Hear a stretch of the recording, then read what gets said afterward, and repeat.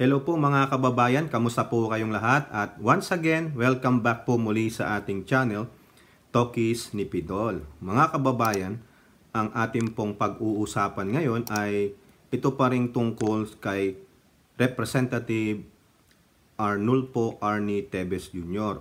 Ang latest po na kaganapan ay naglabas po siya ng dalawang video. Yung isang video is about 17 minutes long.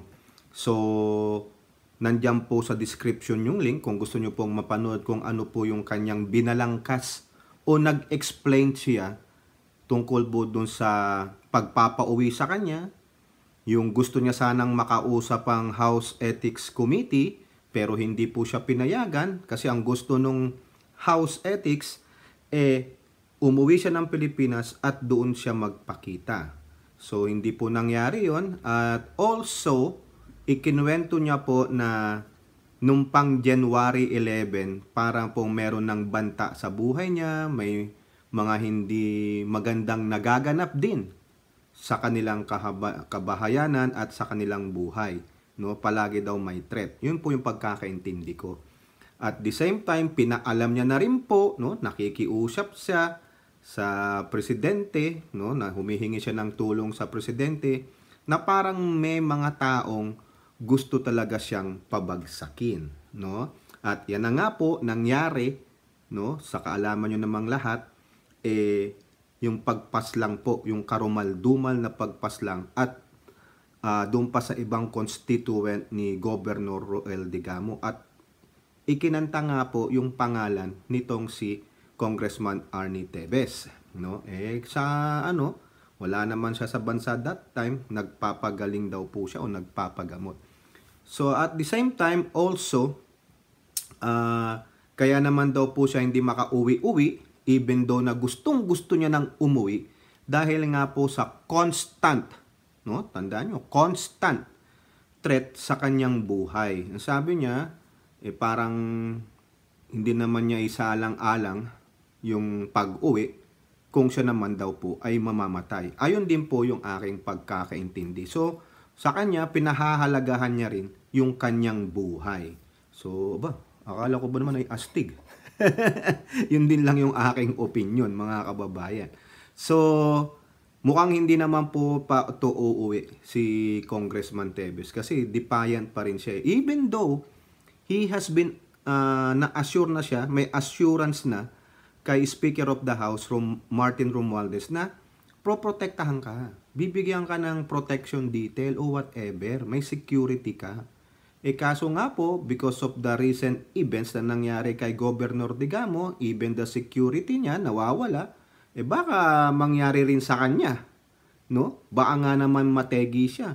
Baka yung iba nga po, yung sinasabi, baka Maninoy Aquino ano ka, yung senior, no? Baka paglapag mo pa lang diyan eh tigiin ka na at gawin ka pang hero. di po ba?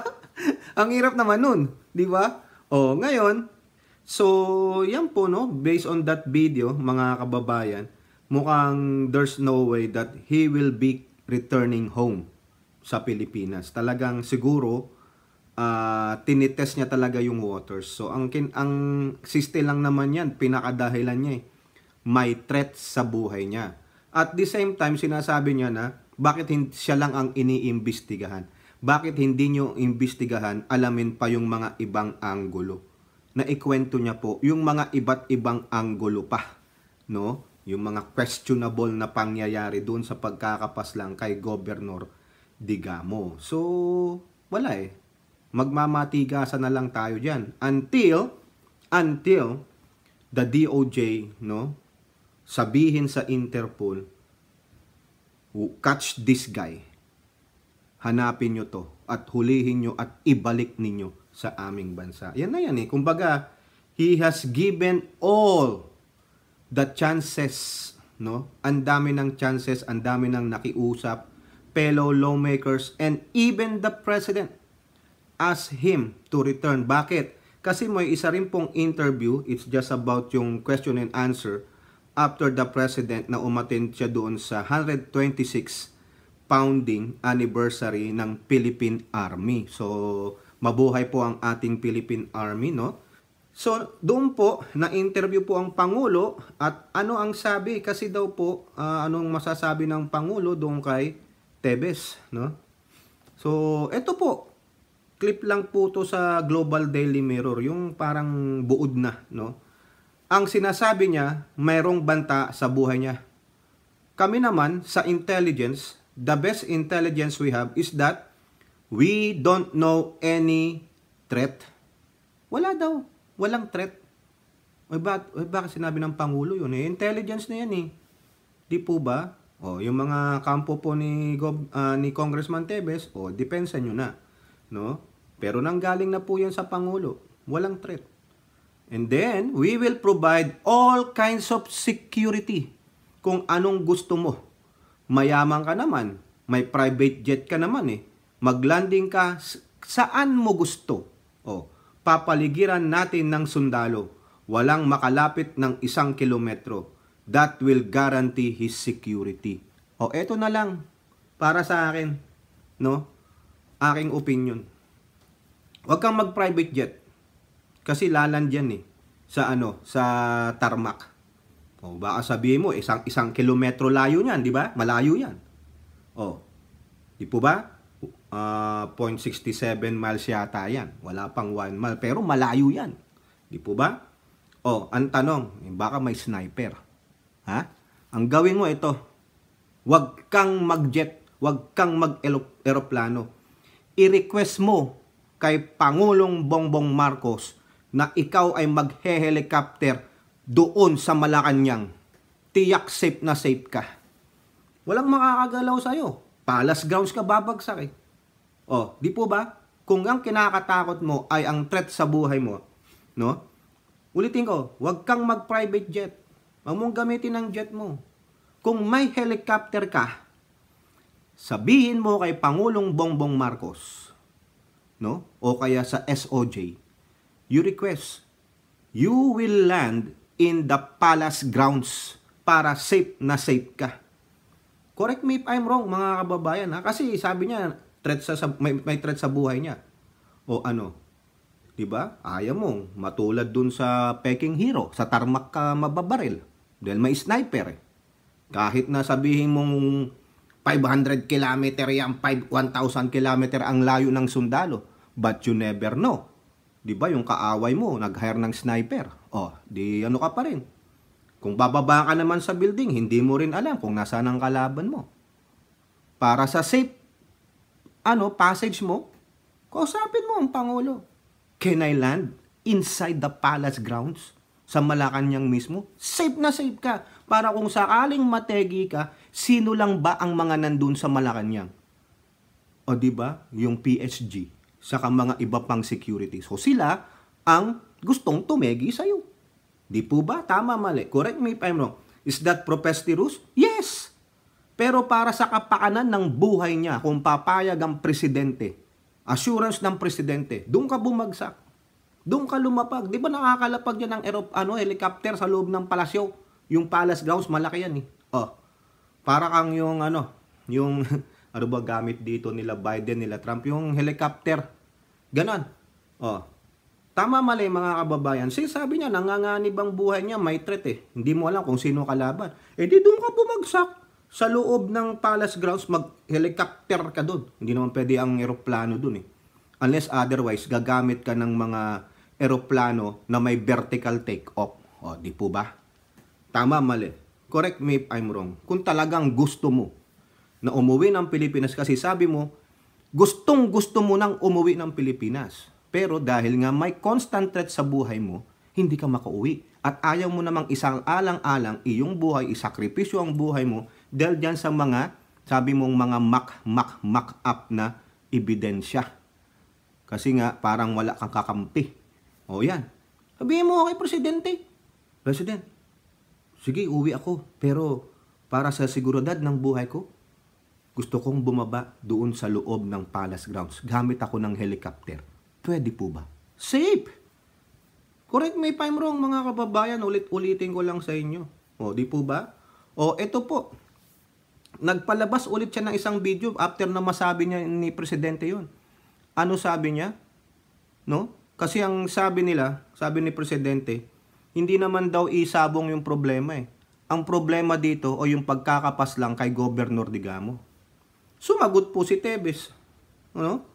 Ang pinag-uugatan daw nun, no? Yung kanyang pagkakadawit sa mga kaso ay ang isabong. Isabong daw yung kasi meron daw talagang gustong mga taong pabagsakin siya kasi nagnegosyo siya ng isabong pero sabi niya wala na po yun. Di po ba? Pero may gusto pa rin talagang gustong pabagsakin siya at para masolo ang isabong. Pero hindi nang question eh. It's not a question, it's not about isabong. It's about time na ito ay nasasangkot ang pangalan mo sa pagpaslang kay Governor Digamo at doon pa sa mga iba niyang constituents na siya ring mga kababayan mo mga taga Negros Oriental na humihingi ng tulong kay Governor Digamo. Walo sila. Walang kalaban-laban, nakaupo lang doon. Niratrat ng bala. Naatim nyo ba yon? Tapos parang playing victim ka pa. Sige sabi mo, pati ikaw biktima. Paano ka naging biktima? Kung talagang sinasabi mong biktima ka din, umuwi ka ng Pilipinas and depend no? Pabulaanan mo itong mga bogus accusation sa iyo. You surrounded yourself with good lawyers. You paid them uh, uh, exceedingly great, no? Mag- madataas ang sahod ng mga mga binabayad mo. Kumuha ka ng magagaling na lawyer. Mayaman ka naman, ayun po ang sabi ng presidente. Why not? Tapos ipipinpoint mo sa presidente, isabong, eh, ang sabi ng presidente, no, this is all about the karumal-dumal na pagpaslang kay Governor Digamo. O ayun, nandiyan po yung mga link no, ng mga video. At the same time, kanina rin po, nagdesisyon po ang House uh, Ethics no, panel na nagbigay sila ng resolusyon na siya po ay suspindihin. At the same time din po doon sa plenary hall ng Congress with Speaker of the House Martin Romualdez presiding, nagbotohan po sila. Ayan po ang sabi dito sa Philippine News Agency. Ano ang resulta ng botohan? House suspends Tebes for 60 days for disorderly, disorderly behavior. 60 days po, suspendido siya. Kasi nung, I think na-report natin to kapo, na i-vlog natin, nasabi po ng isang solon dyan, you cannot, uh, yung i-expel ang isang member nila No, kung hindi, kailangan isuspend mo muna ng 60 days. Ganun po. So ito, after 60 days, hindi pa rin siya nagpapakita. Maybe lang ha, maybe lang, correct me if I'm wrong, no? Maybe they will vote to expel him. 'Di ba? Kasi meron naman silang procedures diyan eh. Na i-vlog na po natin 'yan. No, isa po sa ating mga vlog. Di po ba? Ito po ang sabi ni ano, uh, representative.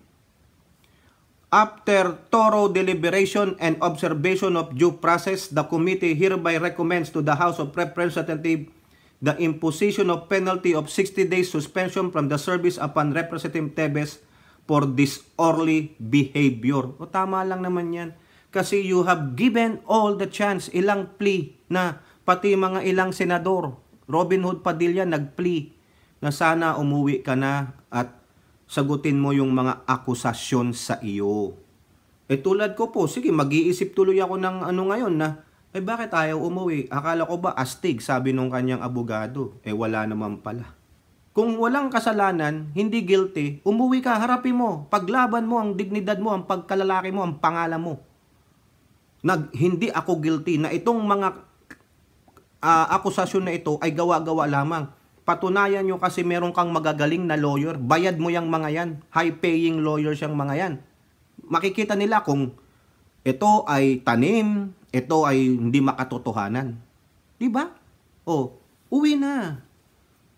Congressman Arnie Tebes, umuwi ka na. Kung, kung hindi pa sapat yung sinabi ng Pangulo na papalibutan natin ng sundalo, isang kilometro ang layo sa paglapag mo, huwag kang gumamit ng jet o eroplano, gumamit ka ng helicopter at ang bagsak mo, bababa ka sa palace grounds. Safe na safe ka, hindi lang PSG ang nandun, sundalo at kapulisan na pinili ng presidente para lang sa'yo.